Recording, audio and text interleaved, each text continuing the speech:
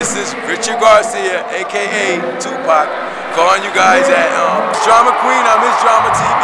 All right, God bless you, everybody. The other day, I thought I seen my homeboy Biggie saying shit don't stop, nigga, no pity. We all hoods, and all we ever had was dreams. Money making motherfuckers pot scan the scheme. We're here backstage Summer Jam. We're here with, say your name again?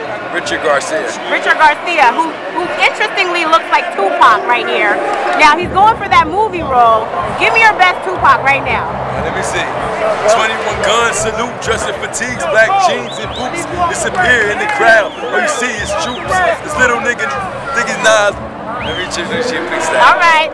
Well, I hope you do get that role, brother, because you got the kind of got that Tupac thing going on. We got the You same have- birthday. Really? You got the tattoos? Oh, wow. And you got the tattoos.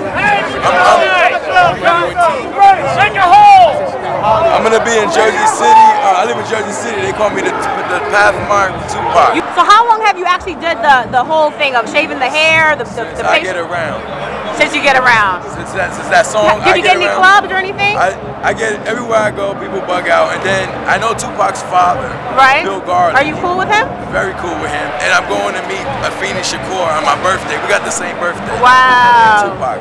And I just graduated with my bachelor's of science in biology. That's what's up. I- I'm really trying. I just graduated this year, so I'm just trying to get this together. and, Right. You know, I'm trying to get this.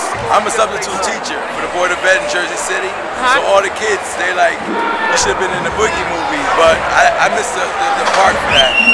But now it's like it's like something like you know born for this because for me to graduate and then you know this to kick off and Antoine Fuqua, he's the one who's making it. The guy who's training that. And I heard he's looking for somebody that's not a celebrity, to, a regular, you know, average guy to play Tupac. And everywhere I go, I get it. Everywhere I go.